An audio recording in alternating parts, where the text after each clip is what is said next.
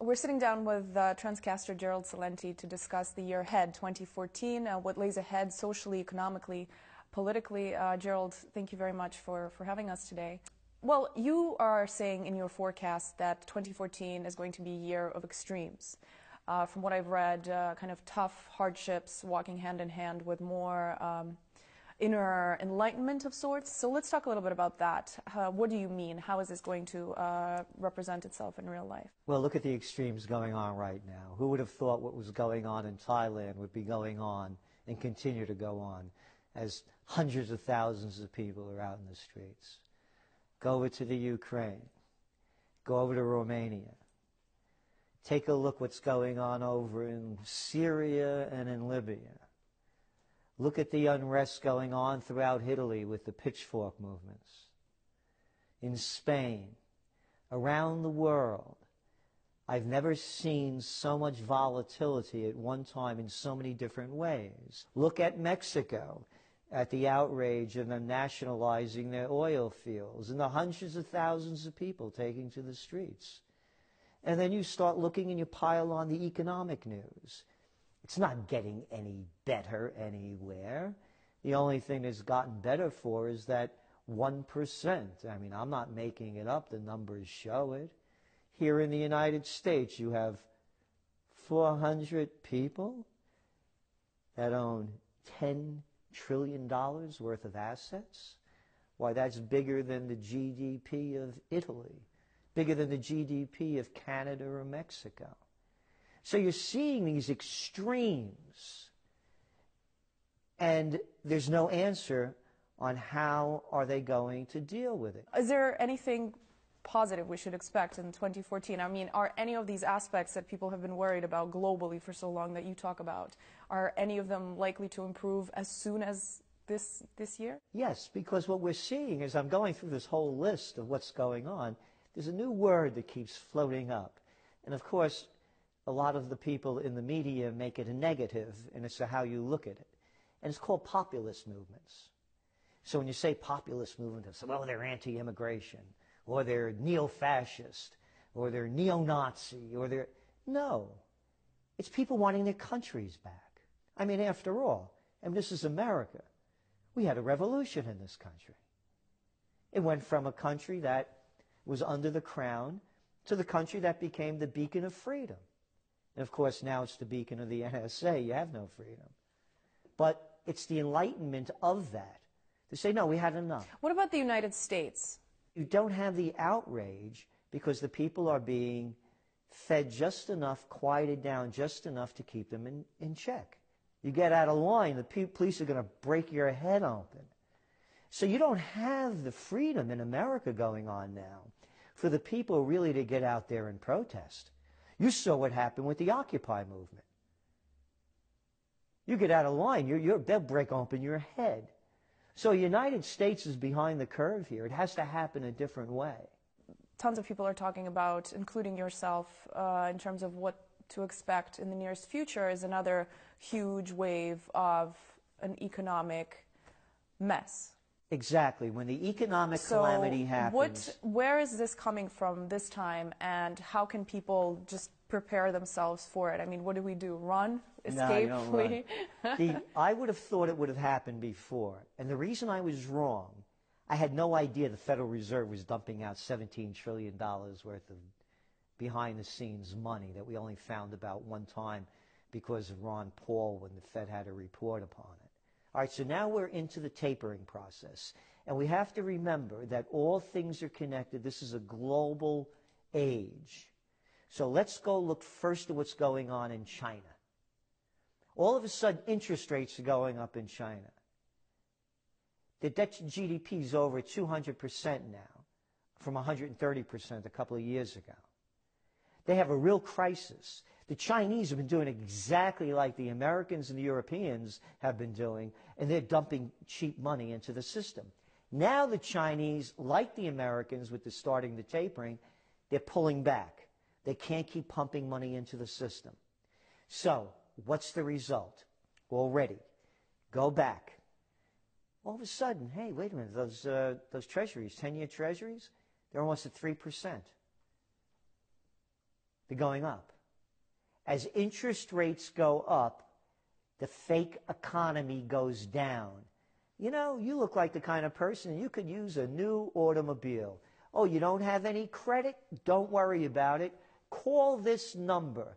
I have a deal for you. We're going to give it to you for 0%. That's right. Step right up. No money down, 0%. You don't have to worry about anything. So what they're doing is they've created another bubble. Yes, but shouldn't people be not surprised because this is exactly what happened in 2008. So do you think people are falling into the same exact trap again?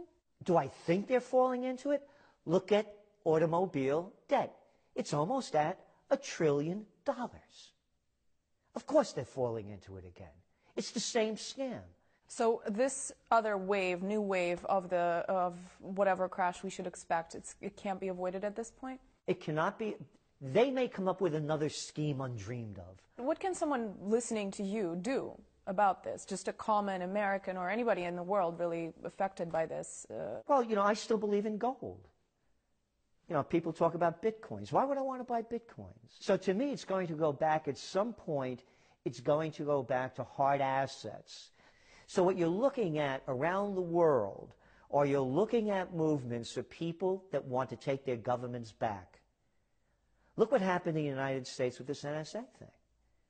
And you've been, the Trends Journal, you've been writing about this for years. The only thing different is that Snowden put the proof down to what we've been writing about for the last six years. Right. Let's talk about that. You you mentioned people taking governments back. Will people ever be able to take their privacy back, or that's it? In this day and age, we just accept it, move on, and this is something that we're just going to have to. Of course, with. it could come back. Who are these people to say that they should be taking it away from us? Everything that the Republicans and the Democrats are doing in the United States is diametrically opposed to everything that this country was founded upon.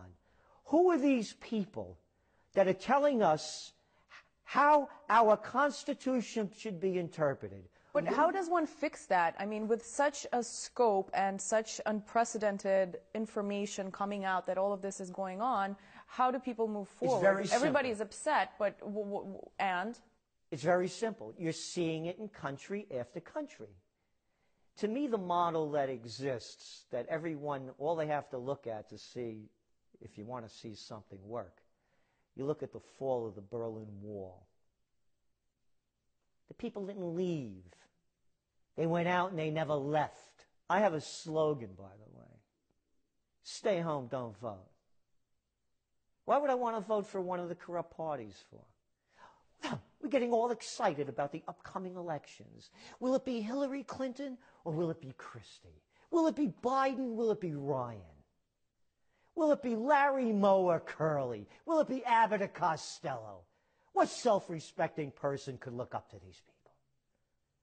And there are a lot of people that are ready for a change to happen.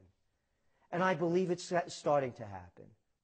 When people lose everything and have nothing left to lose, they lose it. And there are a lot of young people out there holding university degrees that they owe 70, 80, 90, $100,000 for, and they can't get jobs. And they're not stupid. They're watching it unfold in front of them, and they're angry. And they have the vitality. And they're also the people like myself that have been around. And we know the score. Who's making this stuff up?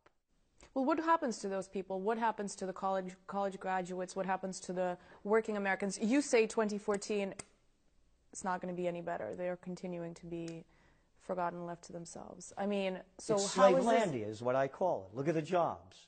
Again, I'm not making it up. According to the data, over 90% of the jobs created in the United States in 2013 were part-time jobs. It's more of the same, but worse. Everything we've, we've been seeing coming out of the United States. Do you think, um, what's happening to its position in the world? Where is it headed? I believe that every nation's problems can be solved if every nation minds its own business and stays home. Again, going back to the foundation upon which this nation was founded upon. Every one of the founding fathers was totally opposed to being involved in foreign entanglements. Who are these people that put it in their head that they're going to start fixing the world and becoming involved in everybody else's business. I got one for you. Could you fix Detroit? No, after you do that, then move over to the South Bronx. Hey, Camden is beautiful. Let's have a picnic over there. A lovely day in Trenton, and East St. Louis is just glorious, and Oakland at night is just a wonder to be out in. Who made this up? We have all the resources that we need in this country to be the great country that we used to be. Gerald, uh, in your uh, forecast for the next year, uh, you also talk about the wake up call for politicians. So, who is going to be that person or that entity or that voice that brings about the change? Oh, this is really radical and dramatic. Direct democracy, like they have over in Switzerland. You want to go to war? Let the people vote. You want your money going to foreign countries? Let the people vote. Do you want to bail out banks or financial institutions? Let the people vote. It's direct democracy. And then these people say the first reaction, why, we'd have mob rule. Right. Yeah. What do you think you got now? You want to talk about a mob? We have a gang of 535 senators and congressmen telling 315 million people how to tie their shoes. Would direct democracy work? Anything's better than the corrupt system that you have now.